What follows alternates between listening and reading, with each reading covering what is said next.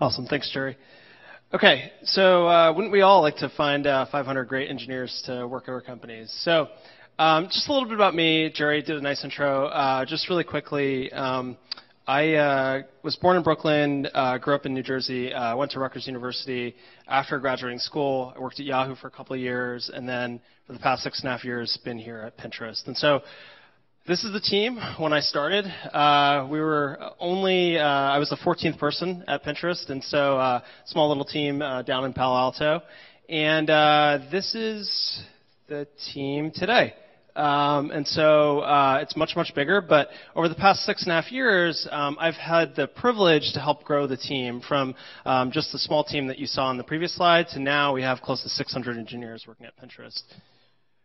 Um, so when we talk about finding great talent, there's three parts at a really high level. I think Joe in his earlier talk really broke into a detailed view of the funnel, but I'm going to talk about three high-level buckets, which is finding great talent, evaluating talent, and then closing those individuals. And so how do you find talent? So we're going to start here. Um, so Silicon Valley is a very competitive place right now. Uh, you've got the big companies, you know, the Hoolies of the world, uh, competing uh, against the Pied Pipers and the startups out there. And a lot of times just competition feels like an arm wrestling match between these companies to, to find this talent and, and then bring them into their companies, right? And so a lot of this, I think, is because in many ways we're looking for the same types of people. And so, um, take John for example. Uh, this is you know example candidate. Uh, grew up in the Bay Area, Stanford graduate. I've been programming since 12 years old, uh, and this is like the ideal candidate that we all would love to have at our companies. But for every John out there, there's thousands of other candidates, um, and I think we just need to think a little bit differently about uh, who we're looking for in terms of talent. So when I talk about my story, and I briefly touched on earlier, uh, I grew up, I was born in Brooklyn uh, before it was cool and hipster as it is today, uh, raised in New Jersey, went to Rutgers University, and at the time uh, when I was graduating, it was actually very difficult to find a job in tech, believe it or not. The New York tech scene back then was not what it is today.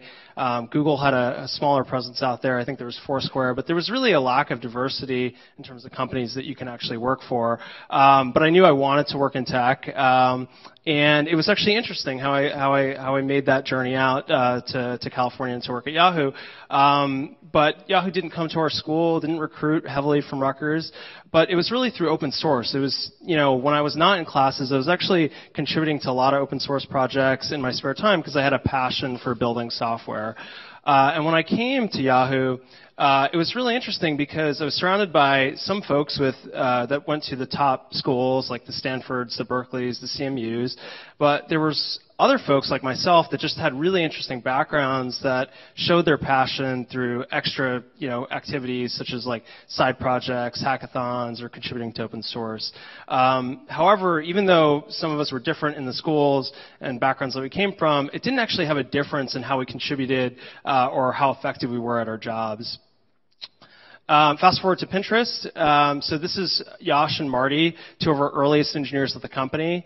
Um, so Yash, who's on your right, um, so Ben, our CEO and co-founder, uh, found Yash initially uh, to join the company as our first engineer, but he met Yash at a tornado meetup. So Bret Taylor was giving a tech talk about tornado and giving out tips of how to use it and where it could be effective. Yash was just attending that conference, and Ben kind of stalked him and was like, "Hey, I don't know you, but do you want to come join and build the next big thing?" And uh, a few weeks later, uh, Yash joined as our first engineer.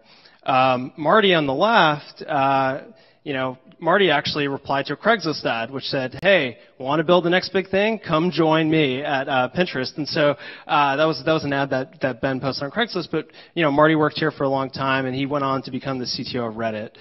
Um, and you know, I think the lesson here is that um, be creative where you look for candidates and how you engage them.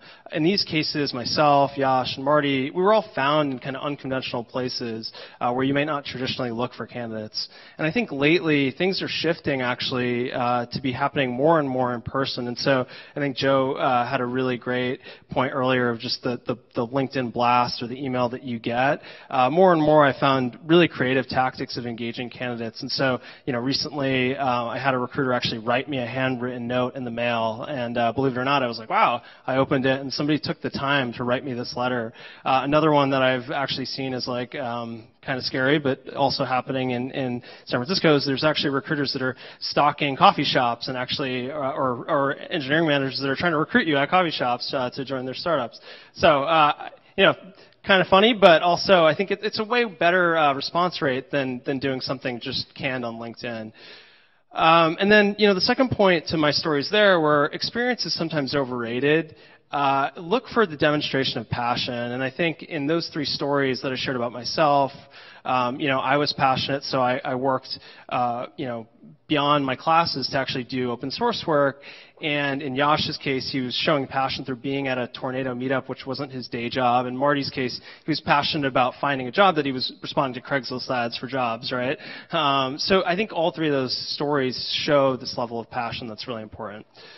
Okay, um, and then Eddie talked about this earlier, and I'm going to talk about a little bit more. Um, you know, we all heard about the problems of uh, diversity in tech, um, but I want to talk about diversity more as a solution to scaling your engineering team. So, um, you know, really simply put, uh, kind of as Eddie said, like if you have a diverse team, you really have a broader candidate pool, and it makes it much much easier to find candidates. Um, this is really important that you actually do early on when you're building your team because um, diversity just it compounds year after year uh, if you're able to actually hire early on. And so, um, what do you do if you haven't done well at this uh, from the beginning, and, I, and, to be really honest, I think a lot of companies uh, in the Bay Area haven't done really well at this. You just have to make a very purposeful effort to do better. And, and for us at Pinterest in 2014, I think we were one of the first tech companies that really came out uh, publicly to set diversity goals, and every year we report in on those diversity goals. But um, you know what's really nice about this is it really opens the door for women and folks from underrepresented backgrounds, and, and it dramatically broadens our candidate pool. So this is our progress over the past few years in terms of hiring, and I think we've made significant progress in these areas. And what's really nice about this is the more progress we make, it further attracts um, folks from those underrepresented backgrounds because, because they see like people like them of similar backgrounds working at Pinterest. And so I'm really proud of these numbers and, and the progress we're making. Um, but just think of the possibility if we actually were more purposeful from the very beginning of doing this. Okay. And then lastly, you know, diversity doesn't just mean opening that door for potential candidates. It means actually valuing other types of talent. And so going back to my first story about hiring, you know, Johns from Stanford, uh, a couple of years ago, we launched uh, our first apprenticeship program, which was focusing on uh, recruiting and hiring folks from non-traditional technical backgrounds. And so here we provide the training and investment uh, to help them learn and grow uh, at Pinterest. And so I just want to share, you know, this is very, uh, very recent, but this is, uh, we recently launched our 2018 program for apprentices to apply. And I think the stats are pretty amazing. So we had applications open for just two weeks. Uh, there's 10 jobs. We had 802 applicants for these 10 jobs. So, you know, if you look at that conversion ratio, it's pretty, pretty amazing. Um, and while it takes a lot of resources uh, to actually start one of these programs, uh, it's really worth it for, for us because what it does is it brings new skills to our team, first of all, and then it allows us to really select the very best candidates who are thrilled with that opportunity to work here. Uh, and then we, we've had tremendous success in converting these apprentices into full-time employees, and they're more likely to retain over time because they've learned and grown with Pinterest. Okay, so to summarize, you know, the lessons in that category, um, be creative where you look for candidates. Uh, and uh, be creative about how you engage those candidates. Look for candidates that demonstrate passion, and uh, broaden your candidate pool by setting diversity goals and developing talent. Okay, so moving on. Uh, so now you've found great talent. Well, how do you evaluate um, candidates? And I think this is a very important part in building your team. And so I'm not sure if all of you have seen this tweet. Um, this is from Max, the creator of Homebrew, which I'm sure a lot of you use. Um, so, you know, Max is a great. Uh, he's great at building software. I had to actually censor this, so it's PG-13 for everyone. But um, but uh, you know, he he tweeted about this. He interviewed at Google, and he got asked this question, right? Um, and here's a similar one that I found at uh, on on a few blogs that's really popular. You know, you get asked a question to do something, um, and hey, I'm going to try to write it in one line, and then the interviewer tells you, oh, you can't do that. Uh, don't use that standard library. Try to do it somewhere some some other way. Um, and the reason I show these is, you know, in some cases, like it is very there's a very legitimate reason for asking questions like this, um, where jobs are incredibly important to be performant and algorithmically correct, uh, and it's legitimate to interview for these types of things. But if you look around this room, and you know, you're going to mingle with other folks later, and hopefully you have before. But if you look at the size of the companies you're building, uh, a lot of times it doesn't matter if you write the most performant or uh, or correct algorithmic code. You want people that can actually get the job done. And so sometimes this is actually leading you to look for the wrong things. And it creates this WTF moment for both the candidate and you when you realize you're not getting the people that you actually want. Um, so some of the things that I did early on uh, when I was helping build out the mobile team here was we would ask questions that were indicative of what the candidate would do. And so at Pinterest, you know, we have this pretty iconic grid layout uh, that displays lots of images. And um, early on, that was a pretty difficult thing to build on mobile. So we would just ask candidates, you know, simply, hey, can you build this, or how would you optimize this grid layout? And it was very simple, um, but it got to the heart of what they would be working with every single day. Because if they couldn't, you know, work with this grid layout, they probably probably couldn't work here because everything is a grid. Uh, and so, um, so it's at the heart of experience and it's the heart of the, the day-to-day job. And so the lesson here is ask questions that are related to the job that the candidate would do every day. And I think this is a really important part. Uh, vet these questions, train interviewers, establish rubrics and criteria for these questions. It's really, really important. Um, moving forward from that, the interview itself, um, this is a very common thing. I think, uh, you know, when I look at companies, it's very common to do whiteboard interviews.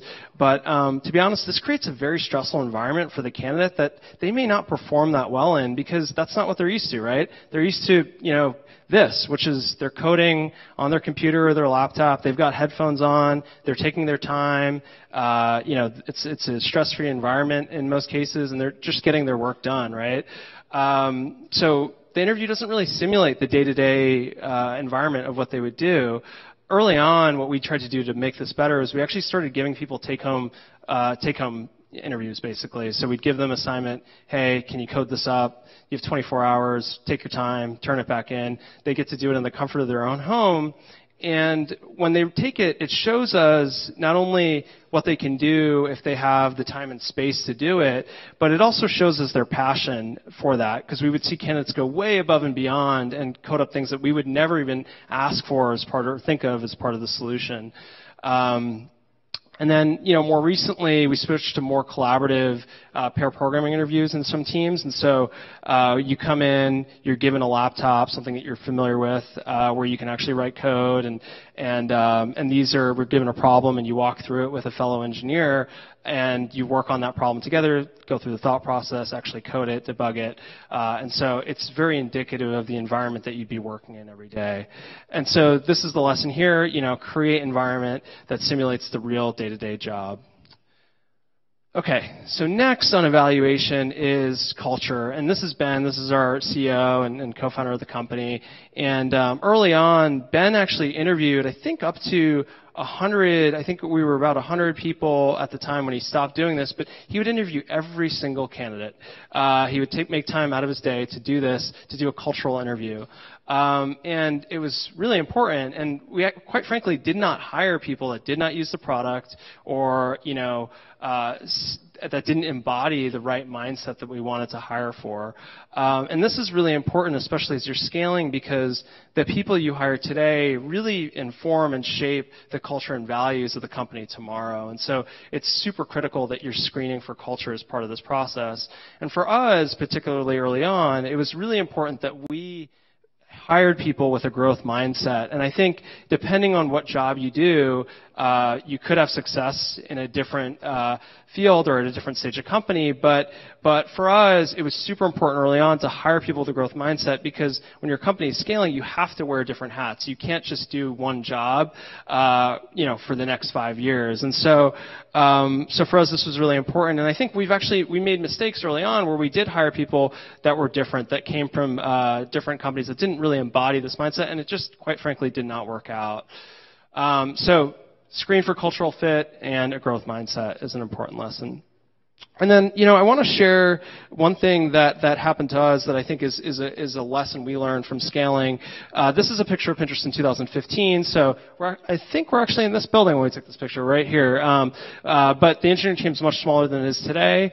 Um, but you know, as we scaled very quickly uh, as a company, we hired a lot of great people um, from gr- a lot of great companies in the Bay Area, from Google, from Facebook, and um, what ended up happening is uh, we started to see that the questions that we would t- ask candidates and the things we would look for and the processes that we developed um, were not indicative of Pinterest anymore. They were almost emulating the, the problems that these uh, new employees saw at Google or at Facebook, and you know that was problems at a different size and scale of a company and really weren't relevant to Pinterest. And so, you know, the lesson here is really like as your team scales, it's really easy to develop biases based on the people you hire. So make sure you're auditing your process early and often. It's a really important part to make sure you're, you're continuing to hire for what you want um, in the long term.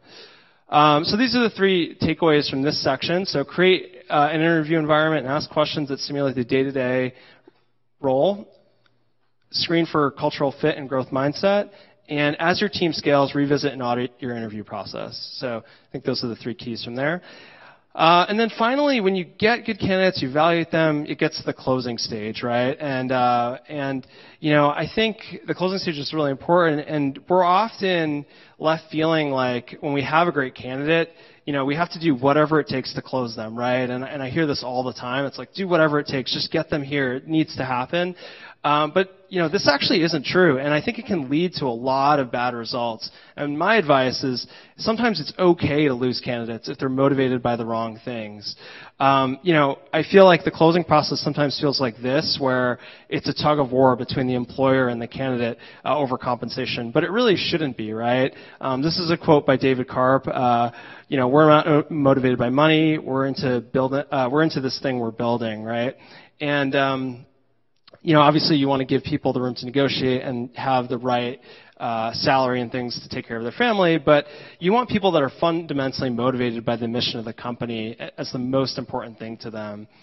And you know, I think different companies have done different things, and I've talked to talked to a few companies lately that have been trying some very interesting things around fixed salaries per experience. So you know, any, everyone they hire at a two-year experience gets the same salary. Everyone that they hire at a six-year bar gets the same salary. I'm not advocating for that, but I, I think it's an interesting thing that companies are trying and having success with. Um, so, you know, it's okay to lose candidates. Uh, if it's for the right reasons. Um, you know, I could personally share we've uh, we've made the mistake of falling in love with candidates, bending over backwards, uh, making special accommodations, going higher on compensation, uh, changing workplace accommodations, uh, and doing things uh, that we just wanted to do to close them, and it ended up backfiring in the end because we found out that they weren't really the right fit for the company. Uh, and so and then, you know, the, the other part of this that I'll say is that I think the offer stage, you know, a lot of people just view it as like, okay, we've evaluated them, give them the offer, get them in the building. But to me, actually, the offer stage is, is part of the evaluation stage. And, and I think you can tell a lot about a candidate during that offer stage uh, and how they behave. And so we've had candidates in the past that almost do a complete 180 in terms of how they treat their interviewers or the recruiting team based on the offer that they got, you know, and, and we've actually gone and rescinded those offers and took, taken them away because it really shows, you know, that's probably not the person you want in the building if they're going to treat you differently, you know, the day before and then the next day when you get an offer. So, um, so it's really important to continue evaluating candidates during that phase. Um, so candidates should be uh, primarily motivated by the mission and, uh, of the team and company. It's really, really important. Okay. Uh, and then I want to talk a little bit about kind of that offer experience. Um, and so I think providing relevant benefits and uh, a unique offer experience really help in differentiating your company or team uh, in closing that candidate. Um, I can't talk enough about this. I feel like um, every every career website I go to or offer I see has a company bragging about their foosball table, uh, about how, and, and, it shows employees playing foosball. But really, there's got to be something deeper and more important that you could be saying about your company than that people just sit around playing foosball all day, right?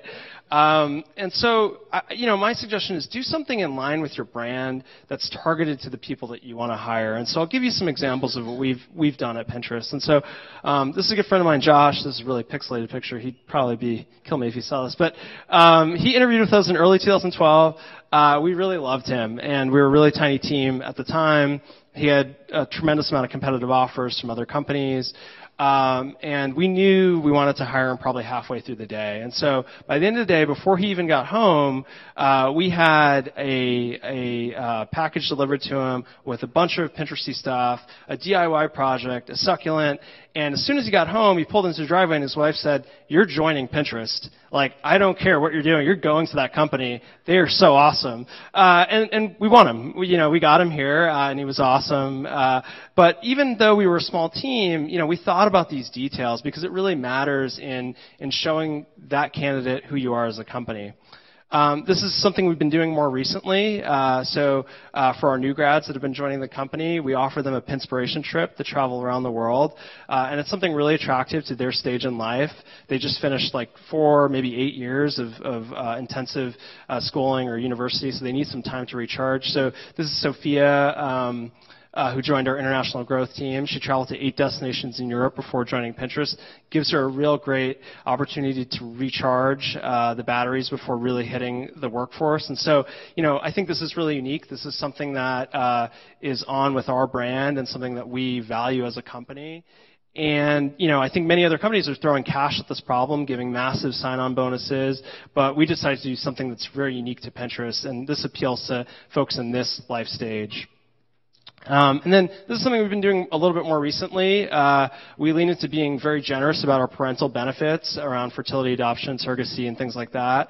Um, and you know the reason why we did that is because uh, it's aligned with the type of employees that we have at the company and the, the, types that we want to continue to hire, and it really provides a great reason to join as a differentiated benefit. So what I'll say here is just align your benefits um, with your target candidates and create great offer experiences. It's really important to closing candidates. So just to review these, uh, it's okay to lose candidates. It's not the right reasons. You know, I, I know that's like hard, but I think it's the right thing to do in the long run. Candidates should be primarily motivated by the mission and team. Uh, the, the mission of the team and company, and then finally align benefits with your target candidates and create great offer experiences. Um, so went through a lot of tips. This is actually all of them on on one slide, um, but uh, I went through them really quick. But I'll be around later for questions, and I know we're going to do a Q&A. But I just wanted to thank you uh, for your time and coming out once again. So give it back to Jerry.